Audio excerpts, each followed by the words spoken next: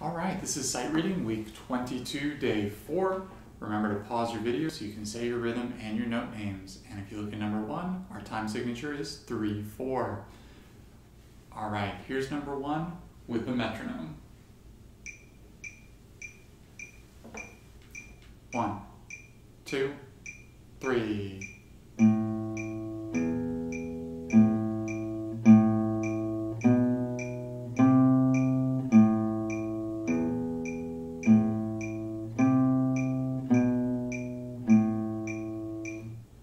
Pause the video.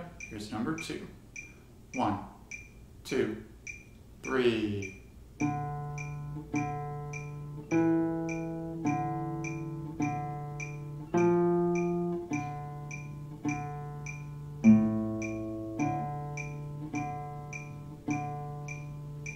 Alright, pause the video. Here's number three, and we're back in four, four.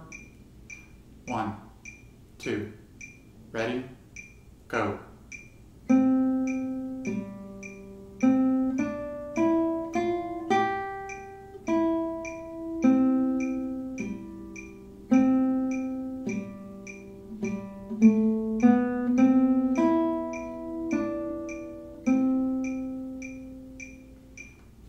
Pause the video, and here's number four.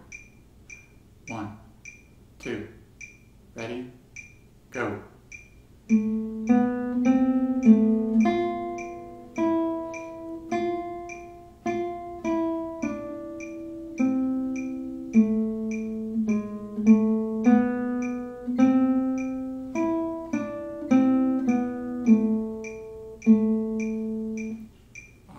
that's it. I'll see you next time.